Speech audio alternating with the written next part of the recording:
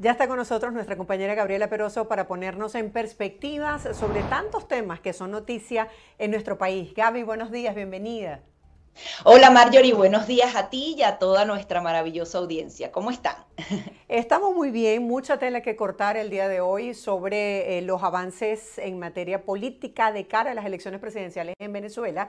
Quisiera conocer tus perspectivas sobre esta decisión de ya establecer una fecha por parte del Consejo Nacional Electoral para las presidenciales y las reacciones sobre todo que ha tenido en la comunidad internacional y en la plataforma unitaria de Venezuela. Bueno, muy complejo porque era lo que suponíamos que iba a suceder. Un proceso electoral que viola incluso la normativa vigente en Venezuela y adicionalmente la constitución porque esos procesos electorales tienen que tener unos tiempos mínimos necesarios y no ocurre en ninguna parte en el mundo, sino solamente en Venezuela, que se hace una convocatoria a menos de seis meses eh, y en donde justamente se van a, colocar todos los obstáculos posibles para que, sobre todo en la renovación de ese registro electoral de los venezolanos, que se puedan inscribir los nuevos, los que se mudaron, absolutamente todos esos venezolanos, no se haga de la mejor manera. ¿Por qué? Porque eso podría eh, suponer al menos nueve o diez millones de votos en total en contra del régimen de Nicolás Maduro. Se habla de unos cuatro millones de venezolanos que salieron del país, pero que ya estaban registrados, que el día de hoy prácticamente no podrán hacerlo, quizás en uno que otro punto en el país que establezcan de aquí al 16 de abril. Adicionalmente, un millón y medio fuera del país que también deberían inscribirse. Adicionalmente, la movilidad social que hay en Venezuela y los demás eh, venezolanos que quisieran participar en estas elecciones. Entonces, es muy grave y no veo tanta contundencia por parte de eh, la comunidad internacional en denunciar este tipo de cosas como que nos acostumbramos a que sea así. Es que, bueno, se suponía que y así poco a poco vamos acumulando. Quería rescatar un, un comunicado que han publicado que es muy claro y que en teoría brinda una solución que a la vez es una solución estancada porque realmente no depende de los que quieren y desean realmente una transición democrática del país. Es un comunicado que fue firmado por eh, eh, Milos Alcalay, Claudio Bifano, Roberto Casanova, una cantidad de venezolanos, pero eh, resume un poco la encrucijada en la que nos encontramos en este momento, Marjorie. No sé si quieres profundizar todavía más sobre algunos puntos de esa realidad o leemos algunas líneas gruesas que tiene este comunicado. Me llama la atención ese comunicado porque justamente habla de un tema crucial y hablan sobre la inviabilidad y las implicaciones que tendría un candidato sustituto. Esto ante el anuncio, la ratificación que hizo el CNE de eh, la inhabilitación de María Corina Machado. Me gustaría que profundizaras en ese tema que me parece neurálgico. Sí, porque eh, prácticamente la conversación se ha hecho como si estuviéramos en un país eh, democrático o donde ya no supiéramos lo que, lo que va a suceder. Dicen, no, bueno, como María Corina está inhabilitada, vamos a poner a alguien más. Eso precisamente sería hacerle el juego al régimen de Nicolás Maduro. ¿Qué le costaría más políticamente a Nicolás Maduro? Eh, que María Corina se retire de manera voluntaria o eh, que ella se mantenga hasta el final y haya algún tipo de costo político. El tema es que el costo político no necesariamente llegue a esa transición democrática o esas elecciones. Ellos hablan de desmontar la farsa, la farsa electoral. Eh, y que eso se le convierta también en una derrota, porque en principio hacen una línea general que, está muy clara. Eh, para Nicolás Maduro las elecciones no son lo mismo que para los venezolanos. Los venezolanos que quieren cambio, independientemente de cómo venga ese cambio, algún tipo de transición. Para el régimen de Nicolás Maduro es absolutamente no es elección, esa no es la palabra que quiere aquí el régimen de Nicolás Maduro, sino legitimarse por seis años más. Y allí en donde tanto la comunidad internacional como la oposición no pueden permitir que ellos solamente vean eso, porque ellos no tienen planteado ningún tipo de eh, sustitución, sino la legitimación del régimen por seis años más. Entonces, dicen que... Analistas políticos eh, han señalado que sería contraproducente para la oposición y para los venezolanos como tal, que se llegara a esa fecha, recordamos que en menos de 10 días está fijada la postulación de los candidatos, que se llegue a esa fecha, todavía no se permite la participación de María Corina Machado y no se tenga un candidato sustituto.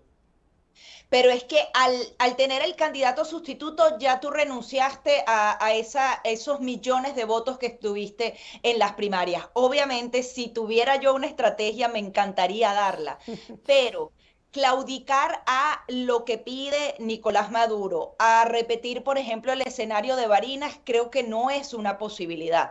Eh, yo no tengo ninguna afinidad por ninguno de los candidatos, hay, cada uno ha cumplido un, un lugar en la historia, pero esa frase fundamental que establece María Corina Machado, de ir hasta el final, creo que es la única vía, porque si logras un sustituto, lo van a perseguir de la misma manera, Marjorie. Y aquí en este, en este comunicado dicen que justamente la legitimidad de María Corina Machado, esos votos de cada uno de los venezolanos depositados en las peores circunstancias en octubre del año pasado, no se puede heredar, heredar ni ceder ni transferir, porque esa legitimidad solamente la tiene ella.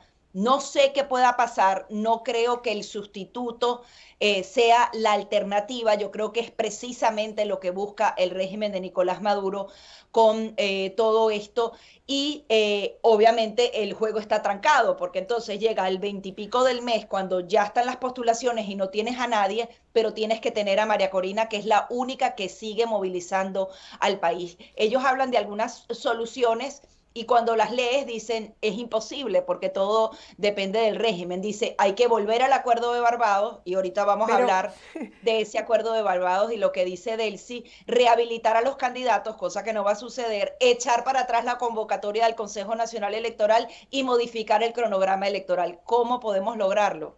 Es prácticamente imposible, pero allí están las claves. Esta es la única manera de que esa elección podría ser medianamente legítima. Ahora, ¿cómo se pueden tener expectativas positivas del acuerdo de Barbados si vemos a Delcy Rodríguez pronunciándose sobre el acuerdo y dice que es un chantaje, es una extorsión y que el país puede vivir eh, sin licencias y puede vivir eh, perfectamente, eh, dijo así, sin licencias y sin sanciones? O con sanciones y sin licencias. Claro, es que ellos al final siempre lo van cambiando. Ellos utilizaron el acuerdo de Barbados hasta que les fue útil y pareciera que el acuerdo de Barbados para ellos era la liberación de los sobrinos de Cilia Flores, de Alex Saab y de tener ciertas licencias que les permitían dar algunos números que presenta Benancham, que se ha subido más de ciento y tanto por ciento eh, la relación comercial entre Estados Unidos y Venezuela y básicamente eh, se basa en todo el tema energético y como que darle ese caramelo a los venezolanos. Miren cómo estamos sin sanciones. Ellos adicionalmente han movilizado mucho dinero más internamente y han estado motivando a una cantidad de figuras importantes de Venezuela a seguir impulsando esa retórica de Venezuela se arregló. Para ellos esa era la negociación, no las elecciones. Ahora ya no es la negociación que permitía eh, fortalecer la democracia y ellos parecer unas personas que sí, que entran al diálogo. Ahora es un chantaje, ahora colocan el tema de las sanciones como Estados Unidos incumplió el acuerdo porque ellos han debido levantar las sanciones y no dar licencias dentro del marco de esas sanciones. Ellos siempre lo van a, a cambiar a su voluntad y yo sí creo y lo hemos venido repitiendo varias veces, Marjorie, que ellos ya estaban preparados, ahí sí, Delcy Rodríguez sabe mentir muy bien, pero yo creo que en este punto en particular ellos saben vivir sin las licencias y sin las sanciones, y si eso es así, no hay forma de presionarlos para un escenario electoral libre y justo. Y allí tiene que haber una línea, no creo que la respuesta tenga que ser en sustituir a María Corina Machado, sino en la línea en la que la comunidad internacional permite o no que Nicolás Maduro se legitime. No se trata de una elección, se trata de si van a permitir que Nicolás Maduro se legitime o no en sus condiciones, porque siguen las persecuciones, eh, sacan a la Dolce Vele de eh, la transmisión libre dentro del país y no pasa nada. Normalmente cuando pasó con NTN 24, con CNN, hubo un revuelo. Ahorita yo siento que se mencionó y ya. Y es un medio estatal eh, alemán, algo bastante poderoso, que eh, presentó un reportaje con todas el, rigor periodístico y simplemente es eliminado, así como son eliminados los jefes de campaña eh, de María Corina Machado y, y así se va haciendo una lista eterna y como pasa todos los días, el desgaste es tan grande que la comunidad internacional no puede una y otra vez emitir otro y otro y otro comunicado. Nos imaginamos que hay serias reuniones dentro de la oposición, la unidad eh, sigue eh, de alguna manera fracturada, pero lo importante es que no permitan eh, colocar a otros candidatos títeres que lleven a la legitimación de Nicolás Maduro. Hay también quienes dicen, no podemos repetir el escenario del 2018, tenemos que ir a las elecciones, pero ¿en qué condiciones? ¿Bajo qué rectoría? Porque hay que también tener muy en cuenta los rectores del Consejo Nacional Electoral se han prestado para todo lo que le han pedido. Y allí nos pusieron unas elecciones a la vuelta de la esquina, en donde la mayoría no va a poder ejercer su derecho al voto y van a seguir persiguiendo a todos los demás. Ahora hay mucha gente que se pregunta, a última hora, ¿será que el gobierno de los Estados Unidos se va a pronunciar para defender lo que fue la elección legítima de María Corina Machado y hacer que se respete eh, el acuerdo de Barbados? Y mientras que esto ocurre, este, vemos esta noticia. Juez en Estados Unidos reduce sentencias de prisión de la enfermera de Hugo Chávez y de su esposo. ¿Cómo se puede traducir esta noticia? Bien, eh, en el lado de Estados Unidos los hemos visto de una manera muy tibia, Marjorie. Primero, teniendo en cuenta lo que acabamos de decir de Delcy, si al régimen de Nicolás Maduro no le hacen mella las sanciones, Estados Unidos tiene poco que hacer. Lo que pasa es que lo que leemos entre líneas de sus declaraciones es que no necesariamente ellos amarran esa transición democrática a una persona. Y cuando tú lo amarras así y esa es la única persona que tendría la mínima fuerza necesaria para enfrentarse al régimen de Nicolás Maduro, de alguna manera estás ya saboteando el proceso y la fortaleza que hoy goza la oposición en la figura de María Corina Machado. Si para ellos eh, hay que ir a elecciones sí o sí, independientemente de quién sea el candidato opositor, tienen una visión que creo que sigue en el camino equivocado, como fue justamente liberar a Alex Saab.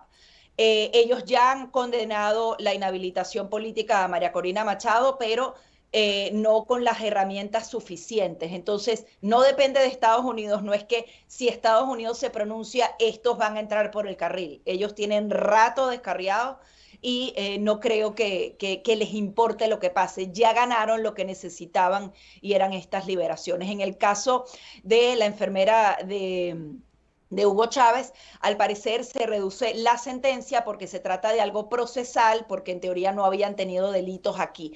Pero al final, cuando ocurren estas cosas, al final le queda el mal sabor en la boca a los venezolanos. Quizás es algo netamente procesal, pero lo que entiende el mensaje los venezolanos es, bueno, la justicia siempre se va suavizando. Quizás en este caso no tiene ningún tipo de intervención ni nada, sino simplemente era un recurso de la defensa de estas dos personas que eh, aplicaba y se, y se dio.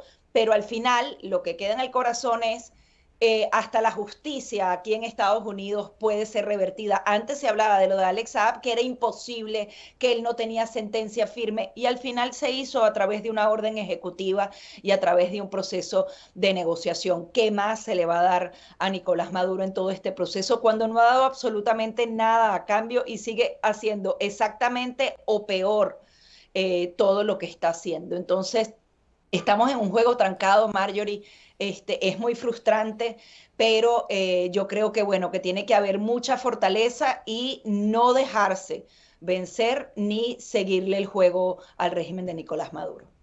Y en medio de esto se compartió noticias sobre el hecho de que se había reactivado la relación comercial entre Estados Unidos y Venezuela.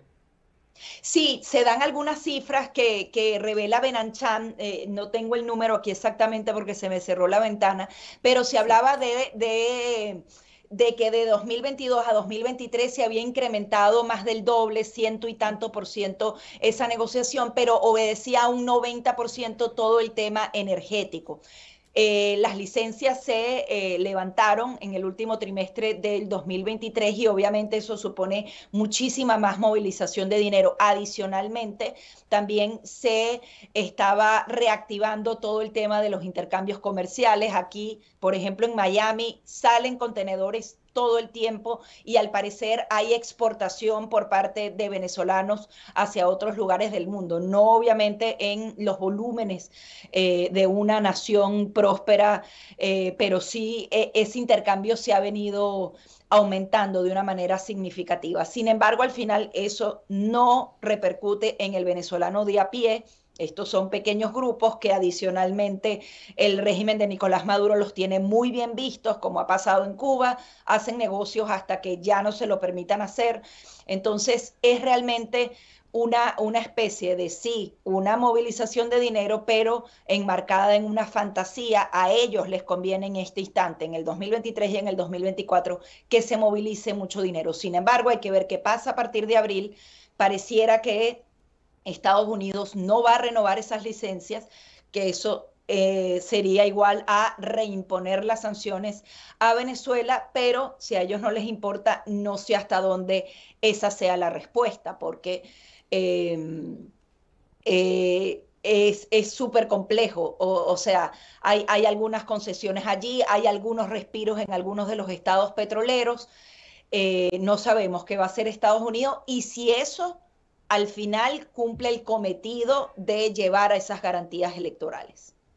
Sí, como lo dijimos antes, e, este crecimiento de las relaciones comerciales entre ambos países el año pasado se incrementó un 127% y la cifra específica son 6.092 millones de dólares en el año 2023. Bajo este panorama en el cual Delcy dice que el acuerdo ha sido utilizado como una manera de extorsión, hay algunos analistas que han asegurado que el hecho de que no le permitan inscribirse a la candidata María Corina Machado puede tener una incidencia negativa porque la gente eh, se puede desanimar en participar en este proceso. Según eh, la narrativa, según los estudios y según las tendencias que tú sigues, eh, vamos a hablar un poco acerca de los escenarios. ¿Afectaría este factor y el poco tiempo para tener un, un proceso con garantías justas la participación ciudadana? Es que todo lo afecta, Marjorie. Por ejemplo, eh, hablamos de la fecha, hay que tener a alguien más por si acaso para inscribirlo. ¿Cómo se sentirían los venezolanos? Dirían, oye, yo fui en la primaria, no sabía dónde votar, me bloquearon el lugar eh, en donde me informaban, caminé dos horas para llegar al punto para votar y luego hay una negociación que no sabes quién la hizo y cómo la hice y pusieron a otro segundo candidato. Y luego ese segundo candidato lo inhabilitan porque va a pasar, si el candidato tiene la mínima fuerza, Marjorie, apuéstalo ¿qué va a pasar? Aquí inhabilitaron a un gobernador electo, ni siquiera un candidato, un gobernador electo. ¿Qué puedes esperar tú del régimen de Nicolás Maduro? Obviamente va a haber mucha desmotivación, la gente ahorita sí quiere votar, tiene la esperanza de María Corina, pero ¿cómo haces que esa voluntad se exprese si ella no puede inscribirse? Absolutamente todo lo afecta, pero es que al día de hoy no hay garantías de que esas elecciones sean libres y justas. El registro electoral no se va a renovar de la manera que tiene que hacerlo, el voto en el extranjero no existe, la observación internacional la están haciendo súper tarde para que los grupos sean mínimos. Y además hay que recordar lo que decía Jorge Rodríguez, que ellos eran soberanos y que no se trata de una observación electoral. La observación electoral prácticamente opina, forma parte de todo el proceso, está involucrado en cada uno de los pasos. Ellos hablan de una veeduría, es decir, algunos extranjeros dentro del país el día de la elección y dando un informe al que no le van a hacer caso. La Unión Europea ya ha dado informes electorales y no le han hecho caso a todas las recomendaciones, porque al final entonces no serían obligadas. Cuando ves tú todo esto, que además nos están haciendo las elecciones un 28 de julio y no en diciembre, como tradicionalmente debía ocurrir, ¿qué haces? Cuando están metiendo presos a los jefes de campaña de cada estado de la candidata. Imagínate el miedo de los que siguen activos y dirán, mañana soy yo el que voy a sufrir esa desaparición forzosa. Pasan veintipico de días para que realmente pueda saber en dónde está ese jefe de campaña porque lo tienen de un lado a otro y ahora se encuentran justamente en, el centro de torturas más grande de, América Latina como se ha venido recalcando en los últimos meses. ¿Estamos hablando entonces de elecciones libres y justas? Para nada. Ni en el presente, ni pareciera que en el futuro existen esas condiciones. Ahí entonces el desafío es saber cómo van a ser legítimas si no se está cumpliendo absolutamente nada. Se trata de un candidato o del conjunto de lo que sería ese sistema y eh, de revertir entonces lo que es un teatro electoral. Más allá de eso, no creo que, que sea una elección. Gracias, Gaby, por compartir con la audiencia el día de hoy tus perspectivas periodísticas sobre estos temas que son noticia en desarrollo. Feliz día. Feliz día también para ti. Un abrazo.